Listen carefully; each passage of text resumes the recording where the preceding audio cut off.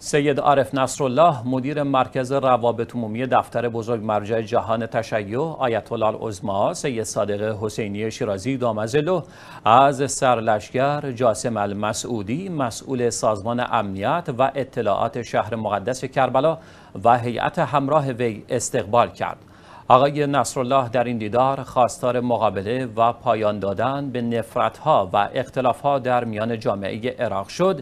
و همگان را به تمسک به اهل بیت علیهم السلام فراخواند.